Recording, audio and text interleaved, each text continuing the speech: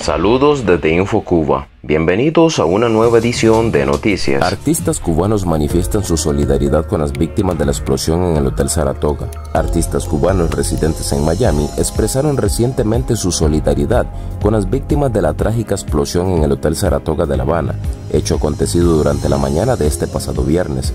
Una de las primeras en manifestar su sentir por este lamentable suceso fue la diosa de Cuba, quien además de enviar un mensaje a las víctimas informó que pospondrá para este próximo domingo 8 de mayo el lanzamiento de su producción musical titulada 40 libras. Joan de la Cruz saldrá de prisión y pasará a cumplir cinco años de trabajo correccional sin internamiento. Como resultado de un juicio de apelación, el joven Joan de la Cruz, quien fue encarcelado por filmar y divulgar en redes sociales las protestas pacíficas del 11 de julio en San Antonio de los Baños, saldrá de prisión y pasará a cumplir cinco años de trabajo correccional sin internamiento. Avalancha de solidaridad. Usuarios en redes enaltecen la movilización ciudadana que ha emergido de forma espontánea del pueblo cubano para donar sangre a las víctimas de la explosión del Hotel Saratoga. Una muestra es el post de Jorge Gómez, en el cual aparecen imágenes de la familia de personas que asistieron al Instituto de Hematología, ubicado en la calle 19 entre 8 y 10 en El Vedado. Al respecto comentó, lo que yo veo, gente linda y solidaria, esperando para donar sangre para las víctimas de la explosión en el Hotel Saratoga. Al menos 23 edificios afectados por la explosión del Hotel Saratoga, entre ellos el Capitolio de La Habana. Debido a la explosión del Hotel Saratoga en la capital cubana, al menos 23 edificios se vieron afectados por las ondas expansivas. Edificios como el Capitolio de La Habana, el Teatro Martí, la Asociación Yoruba y la Iglesia Bautista sufrieron por vidrios rotos y otros daños menores que se pudieron recuperar en un corto tiempo. Sin embargo, en la actual situación de la isla, es posible que estas edificaciones no vuelvan a ser las mismas. Según el gobernador de la capital, Reinaldo García Zapata, esas reparaciones serán asumidas por la Oficina de la Historia de La Habana, pero con el apoyo de todos los constructores de la provincia. Empresa de gas dice que se desconocen causas de la explosión en el Hotel Saratoga. La empresa cubana del gas informa este viernes 6 de mayo que aún se desconocen las causas de la explosión en el Hotel Saratoga, tragedia que hasta ahora ha causado 22 muertes, 74 heridos y una decena de desaparecidos.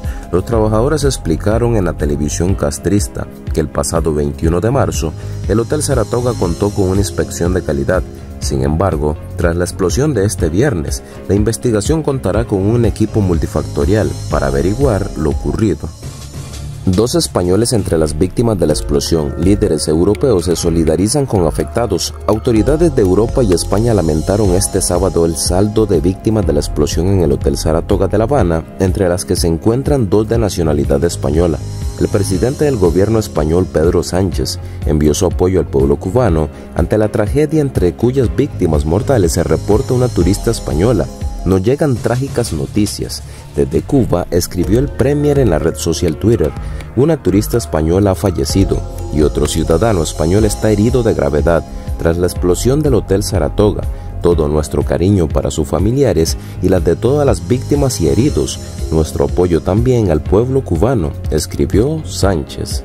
Unión Europea envía sus condolencias a familiares de las víctimas de la explosión en el Hotel Saratoga. En las últimas horas, las autoridades de la Unión Europea expresaron su sentir sobre los terribles acontecimientos que se suscitaron en Habana durante el viernes, con la explosión del Hotel Saratoga que cobró la vida de varias personas.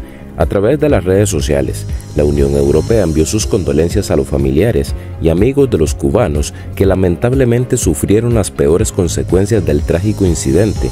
También dejaron saber su deseo de pronta recuperación a quienes resultaron heridos.